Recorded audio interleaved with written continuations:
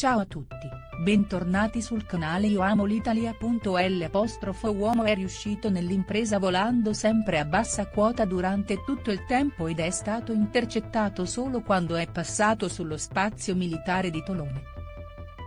Prima ha rubato un piccolo aereo da turismo, poi ha volato per diversi chilometri e superato il confine senza nessuna autorizzazione e senza che nessun nel nostro paese se ne accorgesse tanto che una volta arrivato in Francia ha fatto scattare l'allarme e corsetto i caccia militari ad alzarsi in volo per farlo atterrare.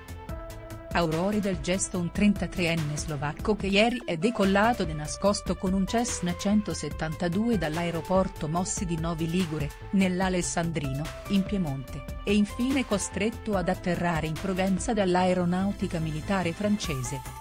Secondo quanto ricostruito finora, tutto è iniziato di prima mattina, prima delle 7, quando l'uomo si è introdotto in un hangar del piccolo scalo piemontese e ha rubato il velivolo usato per addestramento dalla locale scuola di volo.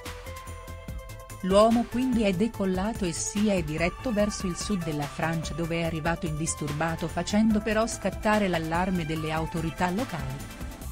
Secondo quanto comunicato dall'Armée de l'air delle Space, l'aeronautica militare della Francia, l'aereo era entrato nei cieli francesi senza rispettare alcune norme fondamentali, non possedeva un piano di volo, non aveva stabilito contatti con i controllori del traffico aereo e addirittura aveva sorvolato zone vietate non rispondendo ai ripetuti richiami a identificarsi, per lui è scattato l'allarme e in volo si è alzato un aereo da combattimento Mirage 2000 dell'aeronautica militare francese. Il caccia ha infine convinto l'uomo ad atterrare all'aerodromo di L. Milles, vicino ad Aix-en-Provence, dove nel frattempo è intervenuto anche un elicottero militare. Un Cessna simile a quello rubato. L'uomo, che secondo i media francesi non aveva nemmeno le scarpe, non ha opposto resistenza e non ha spiegato nemmeno il motivo del gesto. Non aveva documenti con sé, solo una lettera scritta in inglese che è stata sequestrata. Prima del fermo è riuscito a volare per tre ore senza che nessuno se ne accorgesse. Noi ci siamo accorti del furto verso le 10, quando ci hanno chiamato dall'Armée de l'air francese che ci avvisava che un nostro aereo aveva violato uno spazio aereo militare ha raccontato il presidente della scuola di volo che ha commentato, una cosa così non l'ho mai vista né sentita, e nemmeno il nostro assicuratore perché nessuno mai ruba gli aerei.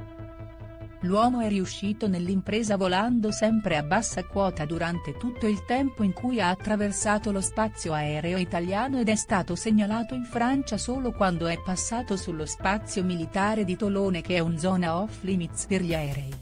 Grazie per aver guardato l'intero video. Metti mi piace e commenta la tua opinione in modo che possiamo discutere. Non dimenticare di premere il campanello per seguire e aggiornare tante interessanti novità. Ci vediamo nei prossimi video.